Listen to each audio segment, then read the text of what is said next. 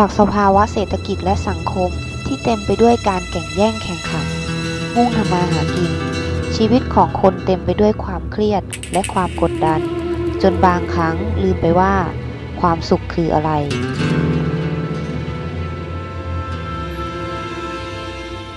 พูดถึงเรื่องตามเศรษฐกิจผมว่าก็ไม่ไม่ค่อยจะดีนะครับ เพราะว่าดูตามข่าวก็รู้อยู่แล้วครับ ว่าบ้านเราตอนนี้ก็ไปไหนมาไหน ก็ดูสีหน้าคนก็ไม่ค่อยสู้จะดีอะครับ ใช่อะไรที่จะได้มันก็ไม่ได้อะมันติดขัดไปหมดเลยเออก็จะเครียดเรื่องหลานค่ะ มีหลานสองคนก็กำลังเรียนมหามหาวิทยาลัยปีหนึ่งปีสองเนี่ยค่ะทีนี้เด็กสมัยนี้เขาก็ไม่ค่อยเอ่อเชื่อฟังผู้ใหญ่เนาะ แล้วก็มีความเครียดในระดับหนึ่งค่ะหนูเองอาจจะไม่ค่อยถนัดทางด้านคำนวณ ก็อาจจะเครียดทางด้านวิชาที่เกี่ยวกับการคำนวณนะคะ Música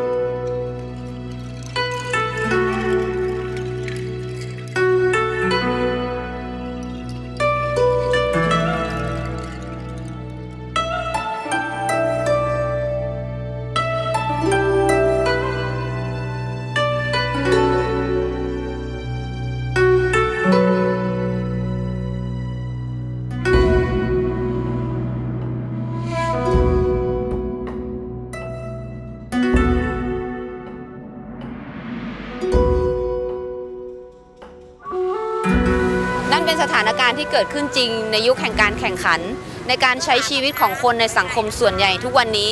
แต่ในวันนี้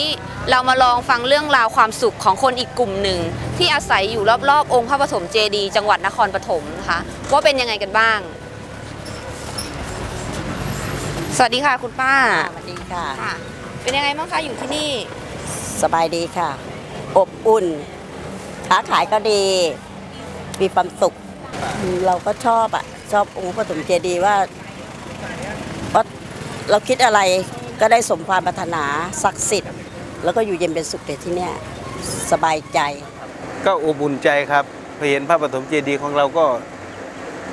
ก็จิตใจก็สบายครับครับ สบายและจิตใจก็ดีด้วยครับ เวลาเราขับรถอย่างเงี้ยหรือว่าพวกคุณแม่มาด้วยกันก็มีความสุขทุกคนนะครับ อยากจะกลับอยากจะไหว้ ก็ดีนะพี่ก็คือเรามีอาชีพอะนะเราค้าขายได้ทุกวันเกี่ยวคนมาไหว้เนี่ย คนแก้บนก็เยอะเสาร์อาทิตย์อย่างเงี้ยค่ะ ก็พวงมาลัยอย่างเงี้ยค่ะไข่ต้มส่วนมากนะก็คือได้บุญนะคะ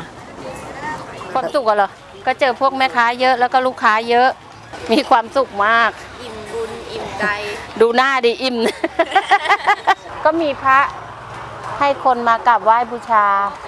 มากราบสกการะ ก็ถ้าเราไม่มีองค์เจดีย์องค์ใหญ่ คนก็จะไม่ไม่ค่อยมาเที่ยวไงทุกวันนี้เราได้องค์พระปฐมเจดีย์เป็นที่สักการะบูชาของประเทศท่า